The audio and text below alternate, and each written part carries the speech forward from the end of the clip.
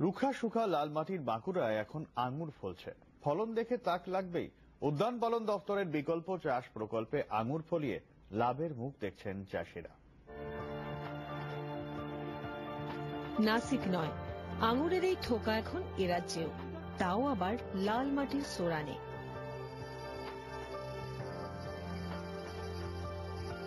ধুধু আদিগন্ত অনুর্বর কাঁকুড়ে লাল মাটির বাঁকুড়া। একসময় বৃষ্টির জলের ভরসাতেই চাষবাস চলত এই জেলায়। এখন সেচের ব্যবস্থা হলেও তা পর্যাপ্ত নয়।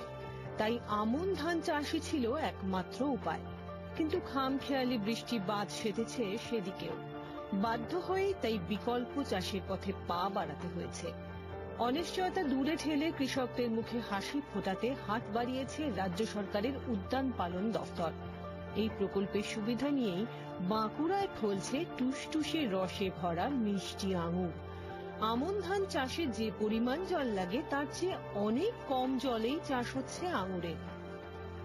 কম পরে যে ড্রিপ ইরিগেশন করা আছে, এইটার মধ্যে টপ টপ করে যদি জল পড়ে, কোন রকম করে গোড়াটা যদি ভেজা থাকে তা আমাদের কাজ হয়। আর ধান চাষে তো সেটা হয়নি। তার জন্য মানুষ ওই যে জল আর কম কষ্ট প্লাস খরচটাও কম, সেই কারণে এই চাষটাকে বেছে নিই লাভ হয় মোটামুটি, ভালো লাভ আছে।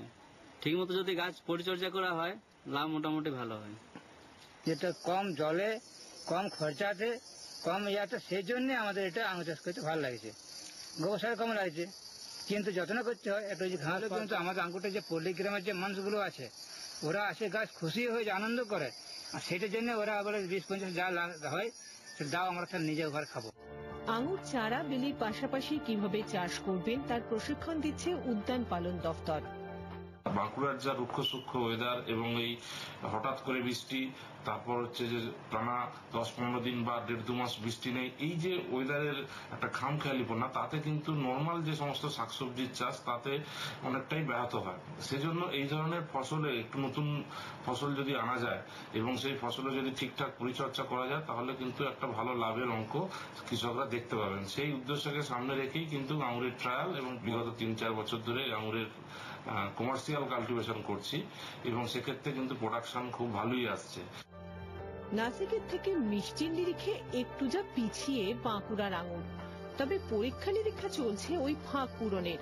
আর তা হলেই ছ থেকে সাত মাসেই বিঘা প্রতি চল্লিশ থেকে পঞ্চাশ হাজার টাকা লাভ সম্ভব অনায়াসেই। বাঁকুড়া থেকে হীরক মুখার্জির রিপোর্ট, জি চব্বিশ ঘণ্টা।